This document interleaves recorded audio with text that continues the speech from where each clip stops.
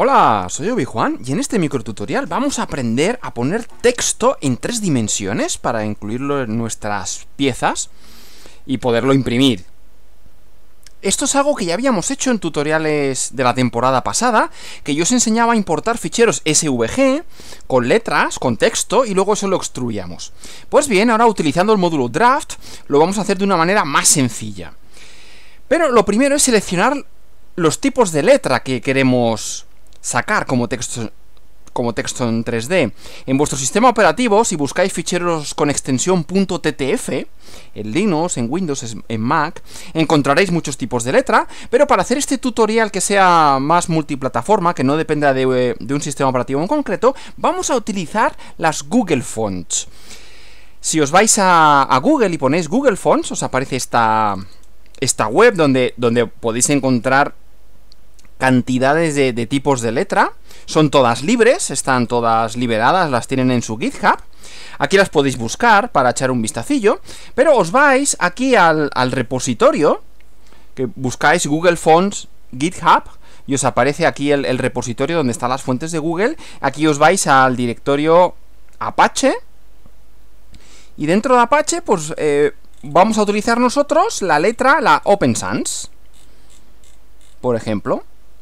Open Sans. Pero podéis utilizar la que vosotros queráis. Y aquí están los ficheros .ttf con las letras. Pues vamos a bajarnos para este tutorial la Open Sans regular. Pinchamos y aquí en RAW le damos al botón derecho y nos lo descargamos. Yo ya lo tengo descargado. Así que volvemos a, al FreeCAD. Este es el escenario inicial donde tengo un plano inclinado y vamos a utilizar, vamos a crear texto en 3D lo que hacemos es que le damos a este icono de aquí. Y primero posicionamos dónde queremos que esté el texto. En realidad la posición nos da igual porque luego lo podemos cambiar, así que seleccionamos un punto de aquí del grid. Esto, el plano de trabajo lo tengo eh, sobre el plano XY. A continuación ponemos la cadena. Vamos a poner... Hola. A continuación, el tamaño de la letra, vamos a hacer que sea de 20 milímetros. Luego, la distancia que hay entre letras, que si ponemos 0 es la, la, distancia que venga por defecto, lo dejamos así. Y ahora es cuando le metemos el fichero con las fuentes. Yo ya me lo he descargado antes, lo tengo aquí. Así que ponemos esta, la cargamos y aquí nos aparece el texto. Lo voy a mover Este es el texto. Fijaos que nos aparece en un plano. Ahora tendremos que extruirlo. Pero antes de extruirlo, vamos a ver sus propiedades. Y es que podemos cambiar directamente aquí el tamaño. Podemos decirle, no, yo en vez de 20 milímetros lo quiero de una altura de 15.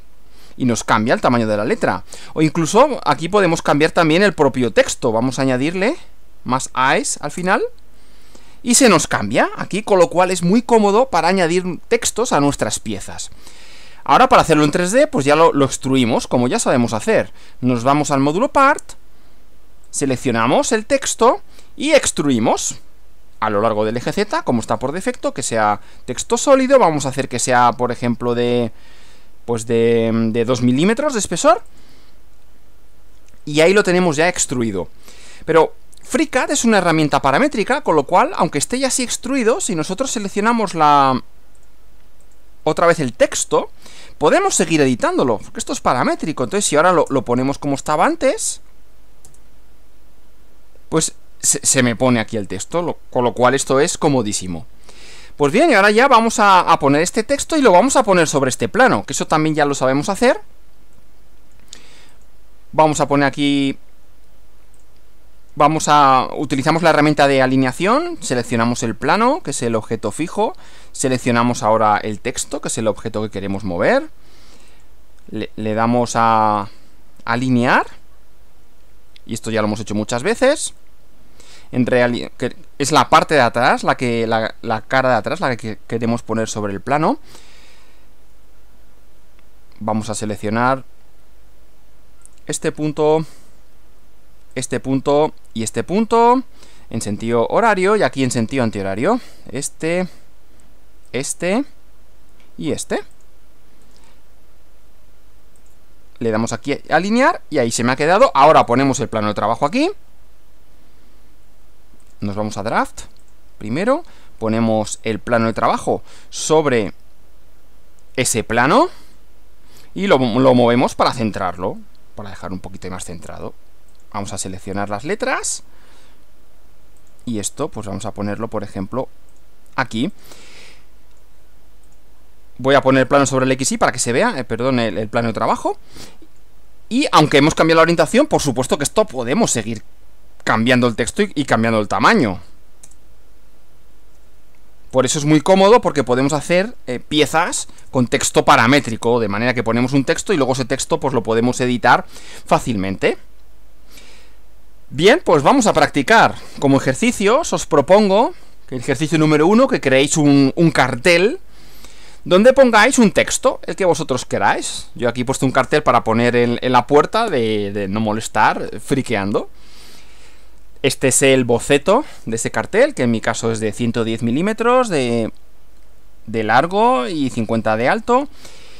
Y no me acuerdo la profundidad, me parece que le he puesto 4 milímetros de profundidad y, esta de aquí le he puesto un marco que tiene de profundidad 1 milímetro. Y las letras, em, el grosor que les he puesto de estas letras, cuando lo he extruido, es de 1 milímetro. Pero podéis poner vosotros la, que queráis. Como ejercicio número 2, os propongo que hagáis un, cartel de mesa, de esos que se ponen ahí en las bodas o en, en las conferencias, con el nombre de cada uno. Yo he elegido aquí el nombre de Alicia, que es mi hija. Y este es el boceto para crear el cartel de mesa sobre el que luego le he colocado el texto. Aquí os lo dejo. Y ya como ejercicio número 3, os propongo que hagáis un teclado numérico. En la que cada una de las teclas, pues le he puesto los números generados como texto. En todos los ejercicios he utilizado la Open Sans, pero podéis utilizar las fuentes que vosotros queráis. Os dejo aquí las dimensiones que he utilizado yo para este teclado numérico, 85, 66, las teclas son cuadradas de lado 13, altura 13 milímetros y la altura del teclado es de 5 milímetros. Esto es todo desde Bijuan Academy, que el software libre os acompañe.